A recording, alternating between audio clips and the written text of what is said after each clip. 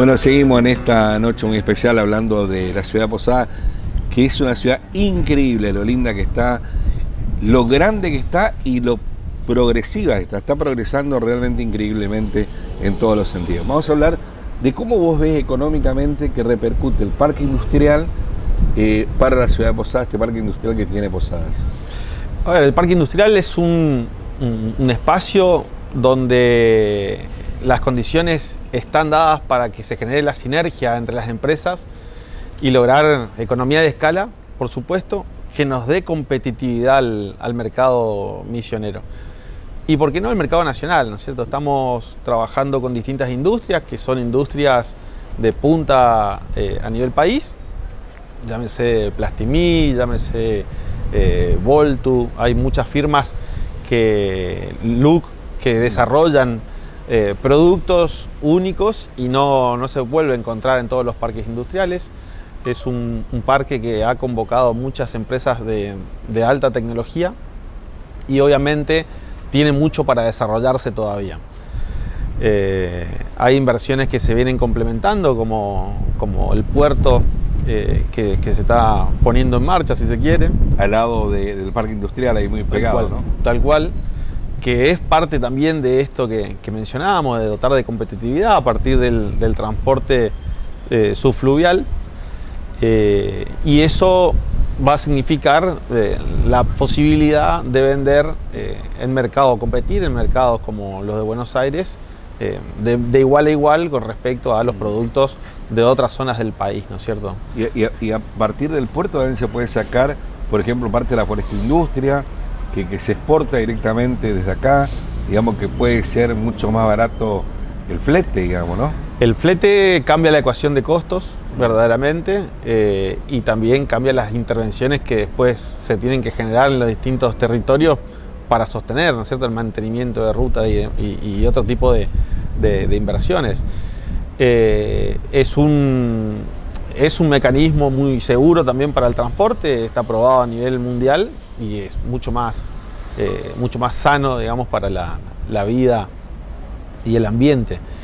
Eh, no solamente la forestoindustria y, y- y todas las, producciones tradicionales de argentinas, ¿no es cierto? Nosotros estamos exportando hierba, estamos exportando, bueno, el té siempre se exportó, pero cada vez eso va creciendo, sino que también se pueden pensar alianzas estratégicas con eh, eh, la frontera brasilera para los, los commodities que también ellos exportan, pensar que tienen un, un pensar- trayecto. Pensar acá en, en Paraná o en el estado de Paraná o en el estado de Santa Catarina, digamos, ¿no?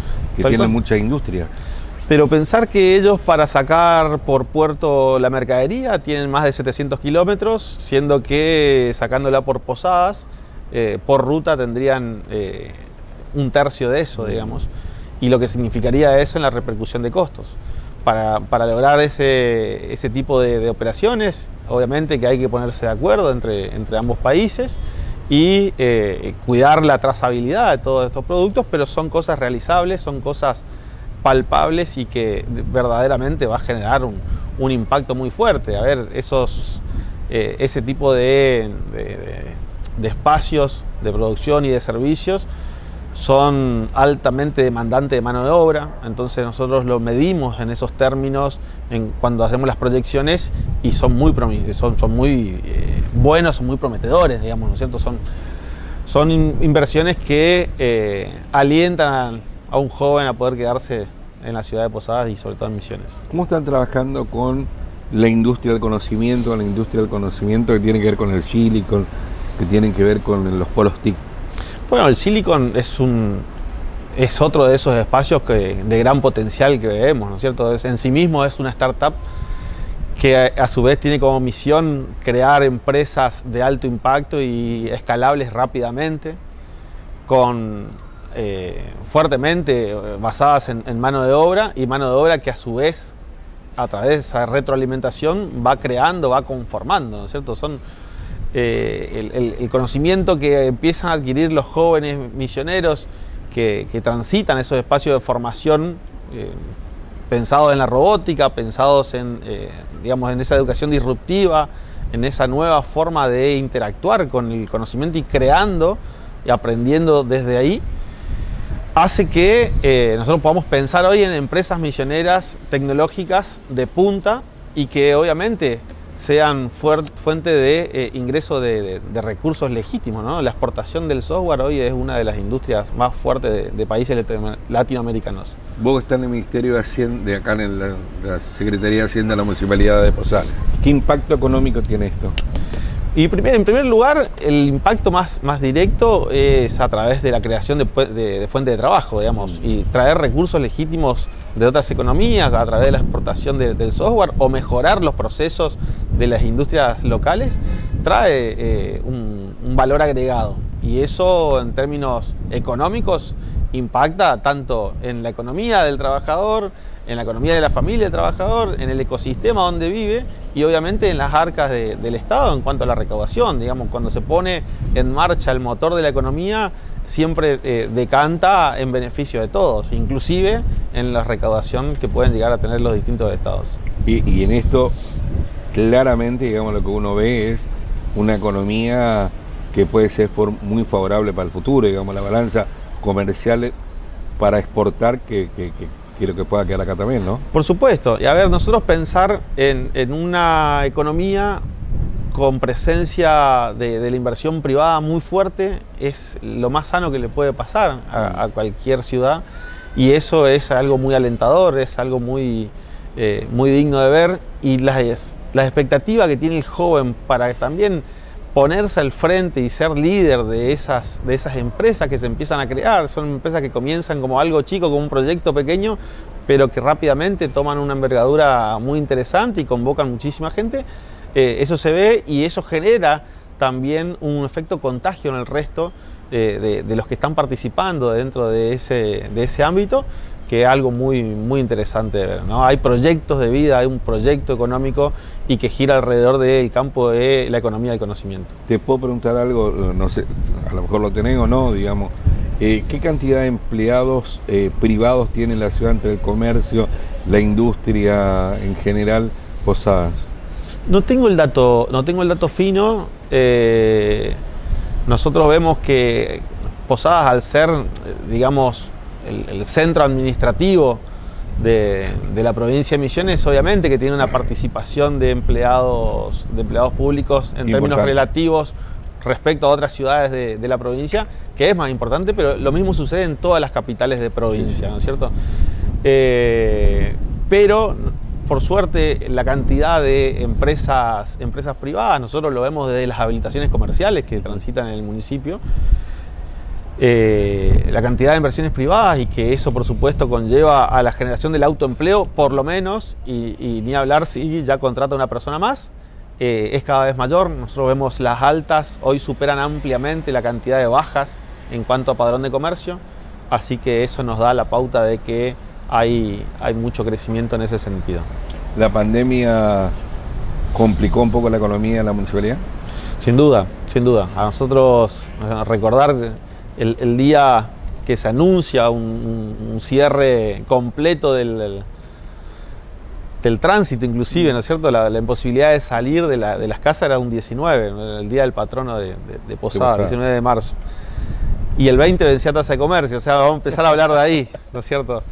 Eh, pero sí, eh, dificulta sobre todo la forma de planificar, ¿no? Que todavía no nos hemos terminado de recuperar de esa, de esas inclemencias, si se quiere, eh, porque las variables se ponen un poco difusas, los vaivenes de las decisiones también en otros ámbitos son más nacionales, repercuten fuertemente en, las economías de, los estados más pequeños y eso trae ciertas dificultades para poder seguir. Nosotros con un, con un sentido de prudencia vamos tratando de armar escenarios, ¿no es cierto? Eh, tratamos de no ser tan optimistas siempre, más allá de que uno espera de que nos vaya bien, tiene ese deseo y trabaja para eso, pero por supuesto que en, los años que fuimos transitando también nos fuimos acostumbrando a, esas variables, a administrar con esas variables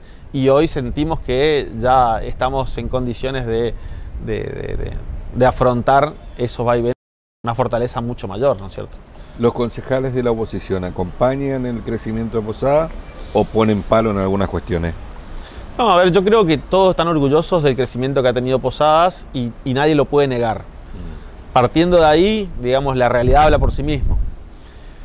Eh, en cuanto a acompañar, veo que las propuestas que, se vienen generando para, el desarrollo tanto de infraestructura como de eh, intervenciones, eh, por ejemplo, concesiones para que emprendimientos privados se ubiquen en ciertos sectores, no hemos tenido reproches. Eso está, está muy bueno, siempre se le da la mayor participación posible a, todo, a todos los comerciantes para que también eh, intervengan. Y eh, ahora sí, cuando hablamos de eh, las finanzas del municipio y la, cuestión más fina, muchas veces tienen sus reproches, pero también, digamos, argumentando de repente en que ven que las cosas se podrían hacer de otro modo, ¿no es cierto? La verdad que administrar un, municipio como, como Posada y así como lo viene generando Lalo, Lalo Estelato, es, admirable porque tiene una, visión de desarrollo que lo pudo materializar en muy poco tiempo. El cambio que se ha dado a la imagen de, de, una gestión municipal ha sido muy fuerte. La imagen del empleado municipal se ha puesto en valor, se ha revalorizado, se ha cambiado la impronta, yo creo, y hoy me siento un empleado municipal y estoy orgulloso de serlo. Eh, y eso me parece que es parte de todo lo, que hoy planteamos, ¿no? como la eh, conformación de, una comunidad un poco más, eh, más ordenada, que esté basada en, los valores y en el respeto de, cualquier buen hombre. felicitaciones. Creo que Lalo tiene un un grupo humano de, jóvenes que realmente eh, tiene mucho futuro, casi todos, digamos, en, la cuestión de administración de, la provincia de Misiones, ¿no?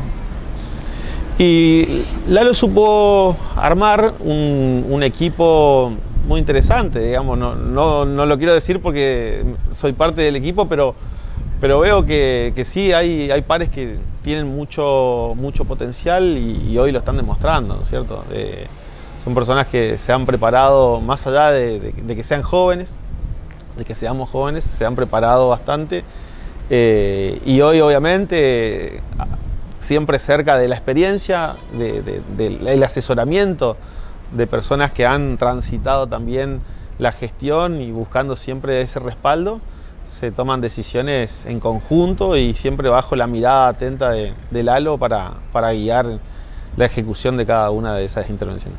Muchísimas gracias. Eh. Gracias a vos. Gracias. Ya volvemos en un minuto más eh, después del corte. Gracias a la gente de, de Somos Misión, a la gente de Flow eh, y bueno, a toda la gente de Canal 9 Norte Misionero. Ya volvemos.